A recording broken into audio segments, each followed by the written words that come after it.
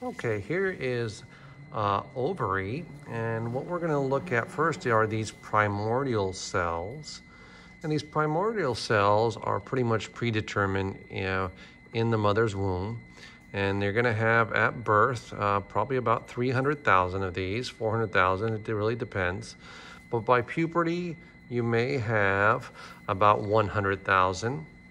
This is a primary oocyte, primary. This is a secondary, okay? And the difference between this right here is going to be the fluid that's right in the middle here. So you can tell the difference here.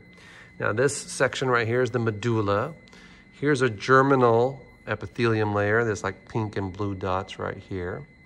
And here's the ovarian ligament out here. So ovarian ligament, germinal epithelium, medulla, primordial follicles.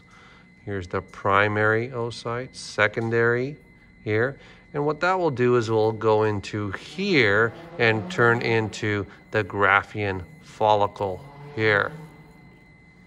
This Graafian follicle gives rise to here is the little egg that you're going to ovulate every 28 days. Now, let's say this is expelled and it finds Mr. Sperm and Mr. Sperm says, nice to meet you.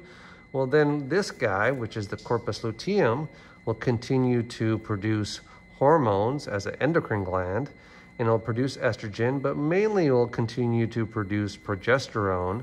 So then it will house the pregnancy and make sure it's a healthy pregnancy. So that's why this guy is important. But let's say the egg does not find Mr. Sperm because it was not a good month. And then Mr. Sperm will find, will have his chance next month. But what will happen is corpus luteum will say, okay, well, I guess there was no fertilization that took place, then I'll turn into corpus albicans and it will degenerate and that will signal the start of the menstrual cycle. Okay?